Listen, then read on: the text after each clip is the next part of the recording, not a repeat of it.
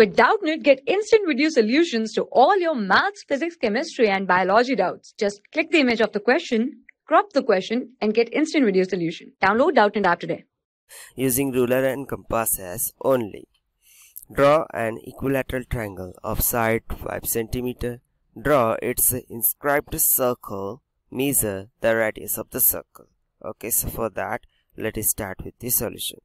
So here first we have to construct an equilateral triangle of side 5 centimeter.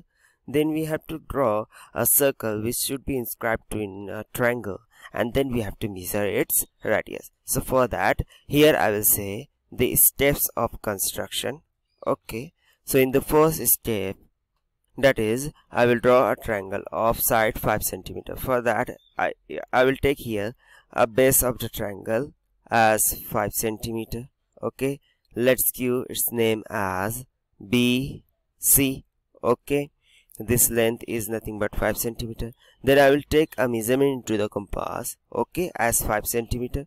Keep the point at B okay? Make a cross over here okay? Similarly I will keep the point at C and make a cross over here. So at the point at which they will cross that point will be nothing but my A point. Now I will join this point A to B Similarly, I will join this point A to C. So this will be nothing but make my required equilateral triangle ABC with the side 5 centimeter, 5 centimeter and 5 centimeter. Okay. Now into the next step what I have to do here.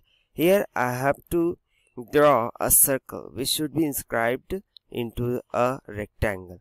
So for that, the first step I will do. Now in this step, I will bisect the angle B. For that, here I will make a curve. Okay.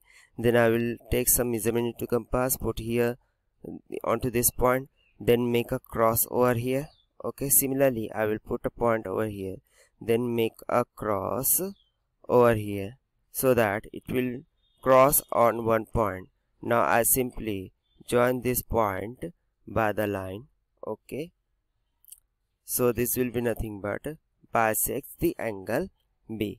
Now similarly here the next is I will bisect the angle C. So for that same thing I will draw here the curve. Then I will put a point of the uh, compass over here. Then I will make a cross something here. Then I will put a point over here. Okay? Then I will make a cross here.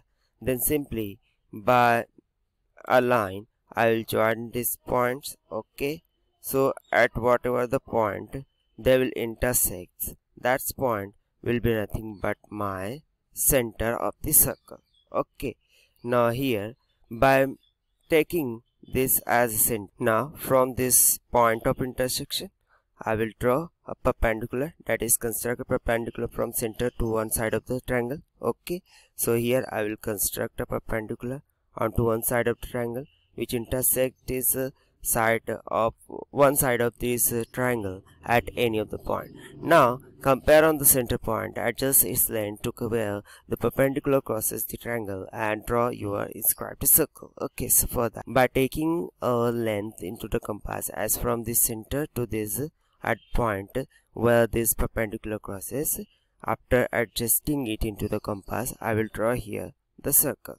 So here, so this will be my required inscribed circle as per the given question. Okay, so here we drawn the inscribed circle also. So here's the solution. I hope you like the solution. Thank you. For class 6 to 12, IIT JEE and NEET level. Trusted by more than 5 crore students. Download Doubtnut app today.